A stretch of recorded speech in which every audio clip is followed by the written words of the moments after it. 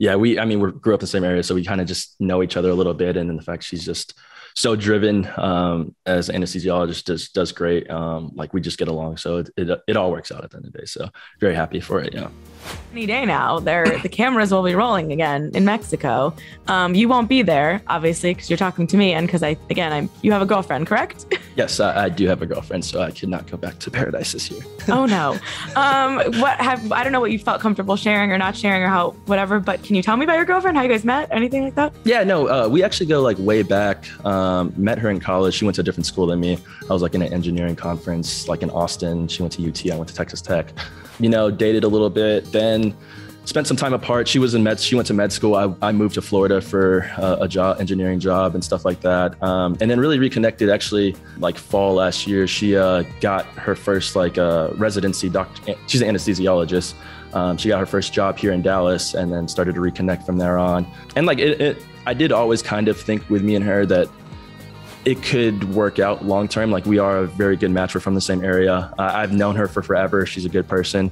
Um, so I'm very happy that like we're together now and uh, being able to be together and things kind of just like randomly work out. Um, you know, who would have thought I, you know, I would have taken this detour in life going on the Bachelorette and my Florida job and all that stuff. And then she ra- randomly gets a job in Dallas now and then and lives not too far from me. So um, it all works out at the end of the day. So uh, I'm very happy right now did she watch these these these detours as we're calling them? yeah, yeah. No, she um uh yeah, no, she definitely watched I know The Bachelorette with Tayshia. Um I don't did she watch Paradise? I don't think she watched too much of Paradise. I think she knows like some of the highlights, but like she didn't really watch the entire thing, I'll say. I think that's a good mix because you want someone who maybe is aware of what this show was because there's going to be people, at least for the foreseeable future, probably coming up to you asking you about it. People like me reaching out to you. You want like someone who kind of gets it, but maybe not like a super fan who yeah. watched everything and knew oh, every yeah. girl and every whatever. Exactly, exactly. Yeah, I think we were sitting. Was it? I think Tayshia's hosting the MTV Awards, right? Mm-hmm. So we were just sitting watching TV, and that pops up, and she's just like looks at me, and I'm just like. like stop looking at me. Like jesus christ. So it was, it was, a very funny situation. She looked she definitely uh yeah. No we have fun with it a little bit so it's all good.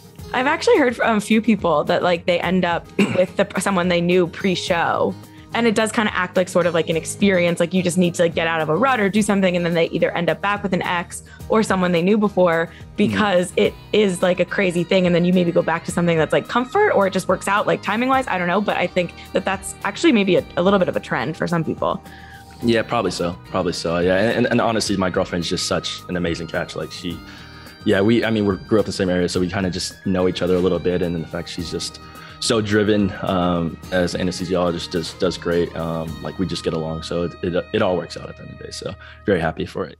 Hey everyone, I'm Christina Garibaldi, the host of Us Weekly Celebrity Coverage.